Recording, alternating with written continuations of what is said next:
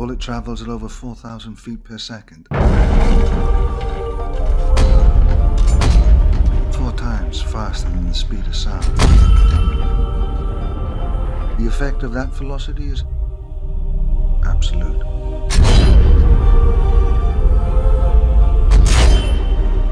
You just cease to exist. So if I'm going to train you, you must remember one thing. Love has no place in this life. You ready? I'm ready. Ready or not, here I come. You can't hide. Ready or not, here I come.